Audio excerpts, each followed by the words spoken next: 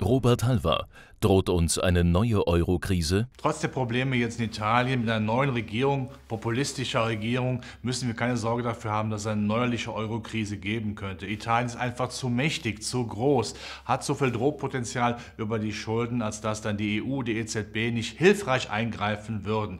Auch dieses Mal wird es so sein, dass die EZB ihrem Ruf gerecht wird, einer zahlt bestimmt. Es gibt keine Euro-Krise.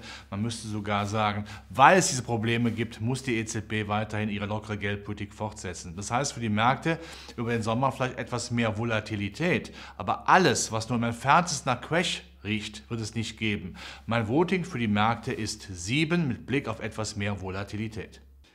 Lieber Kollege Robert Halver, ich glaube, da werden sich diesmal gewaltig irren. Zu glauben, dass Brüssel die EZB es mal ebenso durchwinken, wenn diese neue populistische Regierung in Italien erheblich mehr Schulden machen will, ist naiv. Das wird nicht passieren. Es gibt ein großes Gerangel zwischen den Nordländern und Deutschland auf der einen Seite und den Südländern und Frankreich auf der anderen Seite. Und in dieser Phase werden wir eine Eurokrise erleben, die möglicherweise das, was wir mit Griechenland erlebt haben, noch in den Schatten stellt. Das heißt, der Euro wird abstürzen, die Aktienmärkte werden abstürzen, bis dann am Ende Ende, und da bin ich dann ja wieder bei Ihnen allen klar ist, die Rechnung eines Austritts Italiens wird zu teuer und die EZB und Brüssel doch rettet. Aber ein steiniger Weg und damit auch für die Anleger etwas schwierigere Zeiten an den Aktienmärkten, auch weil in den USA die Liquidität immer schlechter aussieht, gibt keine Überschussliquidität mehr und deswegen mein Voting nur eine 4.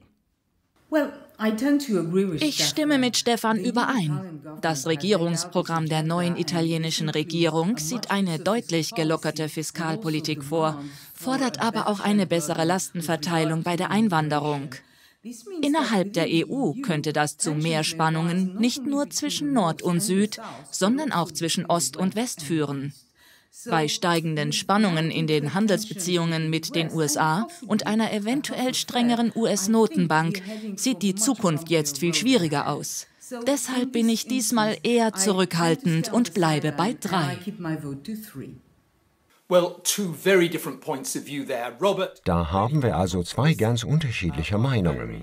Robert ziemlich optimistisch, Valerie und Stefan dagegen deutlich zurückhaltender. Und diesmal neige ich ebenfalls zu Vorsicht. In letzter Zeit ist die EZB viel restriktiver aufgetreten. Ich denke, in diesem Fall wird sie Italien definitiv keinen Spielraum gewähren. Und Ende Juni steht das große EU-Gipfeltreffen an. Da werden Frau Merkel und Monsieur Macron hart arbeiten müssen, um die vielen Interessenskonflikte zu lösen. Es ist also eine schwierige Zeit. Ich bleibe bei meinem Votum von 1 und ich bin sicher, dass der Euro tendenziell schwächer wird.